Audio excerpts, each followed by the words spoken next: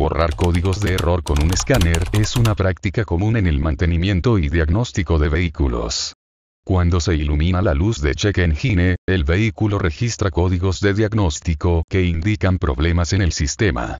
Utilizar un escáner para borrar estos códigos puede ser útil, pero es importante comprender que simplemente eliminar los códigos no soluciona el problema subyacente que causó la activación de la luz. Uno de los principales beneficios de borrar los códigos de error es que puede restablecer el sistema de monitoreo del vehículo. Esto es particularmente útil si el problema fue temporal o se resolvió de manera inadvertida, como en el caso de una conexión floja que se restableció.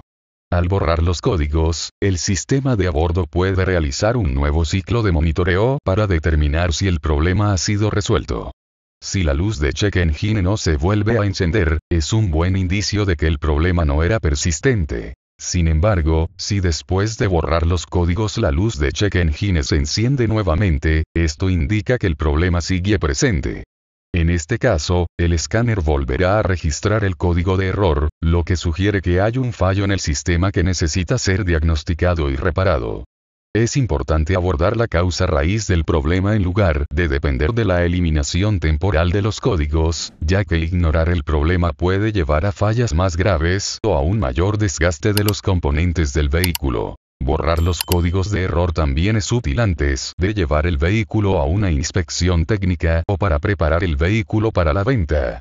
En estas situaciones, los propietarios pueden desear asegurarse de que no haya códigos de error registrados que puedan afectar el rendimiento o la calificación del vehículo.